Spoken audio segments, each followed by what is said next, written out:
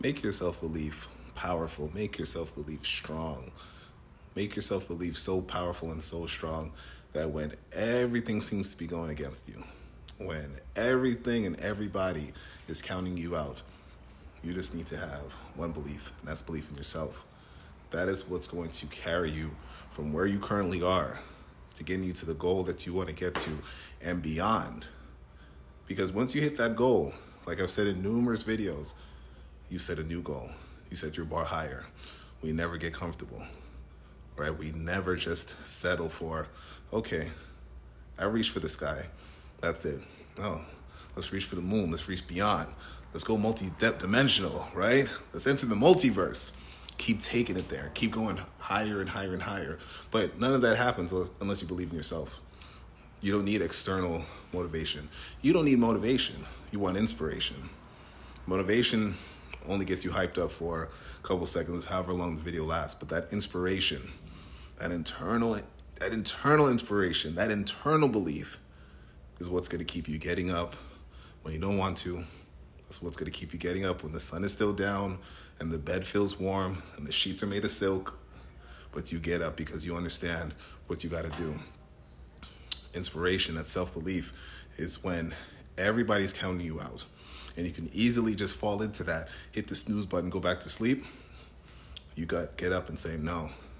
I believe. I know I can do this." And I'm speaking from personal experience. I'm speaking how many times where self-belief, my self-belief was tested. My self-belief was tested. My self-belief still gets tested. You want to be what? You want to start a marketing business. If you don't go lift some weight, yeah, I want to work on SEO. I want to focus on marketing. What? You're doing jujitsu now. What, do you think you'll be a black belt? Yeah, yeah, I believe so. Wait, what? You want to start traveling? I want to go. I think we can do Japan. I think Thailand's kind of cool. All of that. But I believe. I believe it could happen. I believe it could happen for you. But you have to say to yourself, do you believe? Do you want it? Do you see yourself doing these things? And once you see yourself doing it, then now you have to back it up with action. Then you have to back it up with results.